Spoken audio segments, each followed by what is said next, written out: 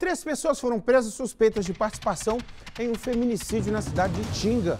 O caso foi registrado no dia 28 de maio e nós falamos do crime aqui no BG, né? Relembrando, a vítima ela foi morta com um golpe de faca e depois teve a casa incendiada. Você se lembra disso? Pois é, o Dira Mendes traz os detalhes para a gente. Pode balançar. Nico, a Polícia Civil cumpriu três mandados de prisão no município de Itinga. São três suspeitos aí de terem participado do feminicídio que aconteceu no último dia 28 de maio. Caso que nós mostramos aqui no balanço geral. A vítima foi morta com golpes de faca e em seguida o corpo foi incendiado.